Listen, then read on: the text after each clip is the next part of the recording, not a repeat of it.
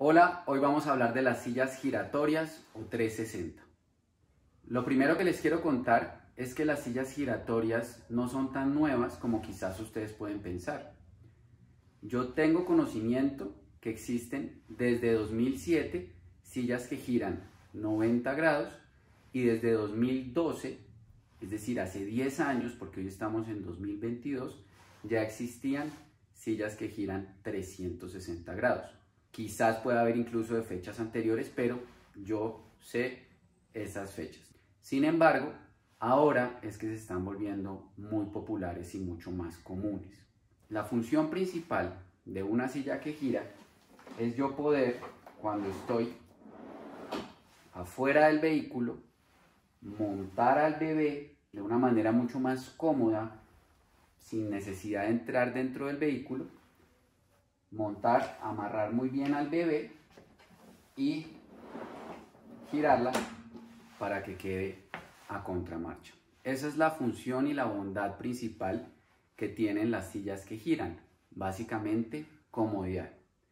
No las hacen unas sillas más seguras. Una silla es segura independientemente de que gire o no, si es una silla que cumple con normas de seguridad y generalmente que exceda cumplir con las normas de seguridad.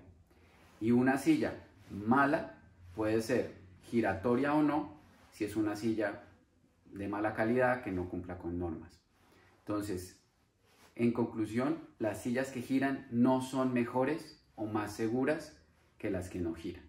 Otra ventaja o bondad que pueden tener las sillas que giran es que llegado el momento de darle la vuelta, por ejemplo, esta se puede instalar para atrás hasta 18 kilos, entonces así puedo llevar a los niños hasta 18 kilos y en su momento, cuando tenga que darle la vuelta, no tengo que desinstalar la silla, sino simplemente la giro y ya está de inmediato en sentido de la marcha.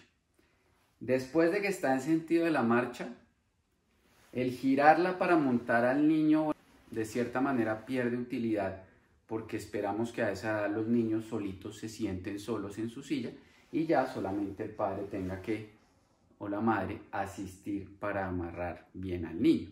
Sin embargo, no significa que no se pueda usar, es decir, digamos, tengo un niño de 4 o 5 años mirando para adelante. Si yo quiero, igual puedo poner la silla hacia afuera del vehículo, hacia el lado de la puerta, montar al niño, amarrarlo muy bien y girarlo. Pero como les digo, esta funcionalidad generalmente se utiliza mucho más a contramarcha, que es un bebé pequeño, que en sentido de la marcha.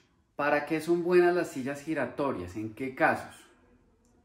Supongamos un, un abuelo que tiene varios nietos y hoy va a recoger a su nieto menor para llevarlo al pediatra. Entonces va y recoge a su nieto y lleva a su nieto bebé al pediatra. Y mañana va a recoger a su nieto mayor para llevarlo a práctica de natación o a jugar fútbol con los amigos. Entonces va por su otro nieto ese día y lo recoge en la misma silla. Este es un escenario que creé para que ustedes de pronto analicen si en su núcleo familiar vale la pena tener una silla giratoria.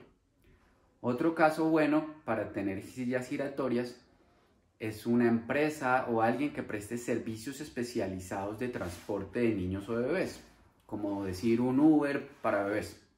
Entonces, con esta sola silla, no importa a quién recoja, si hoy recoge en el servicio a un bebé, pues lo va a poner a contramarcha. Si el día de mañana recoge a un niño de 6 años, lo pone en sentido de la marcha. Con una sola silla podría prestar su servicio a todos los niños. Es importante aclarar que más allá de la moda, elegir una silla segura, de buena calidad, que exceda con los parámetros de seguridad. Las sillas 360 o giratorias son extremadamente costosas si son buenas, comparadas con unas que no giren. Entonces, si ustedes encuentran en el mercado una silla giratoria económica, barata, no la compren. No la va a hacer mejor por ser 360 o giratoria.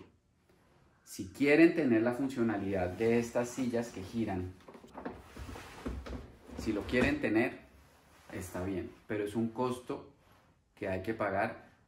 Entonces repito, una silla giratoria segura y buena es costosa. Es un precio que hay que pagar por esta funcionalidad o por la comodidad de poder girarla, bien sea como esta o esta o muchas otras tantas que están saliendo al mercado.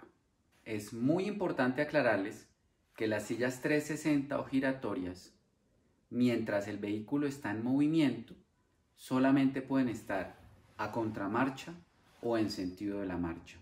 Esta advertencia la hacemos porque en redes sociales estamos viendo muchos padres y madres que están grabándose, llevando a sus hijos, mirando de lado hacia ellas. Por ejemplo, hacen así, se van grabando y van mostrando a sus hijos y la silla no está asegurada. Si ustedes miran detalladamente, aquí está en rojo y está en rojo porque en este momento la silla no está asegurada y solamente se va a pasar a verde cuando se bloquee, bien sea en sentido de la marcha o a contramarcha. Miren, aquí ya se puso en verde. Entonces, mucho cuidado por favor. Si tienen la silla giratoria, que nunca lleven a sus bebés de lado, de 90 grados, o van en sentido de la marcha o van a contramarcha. Bueno, espero haber podido aclararles ciertas dudas de las sillas giratorias o 360.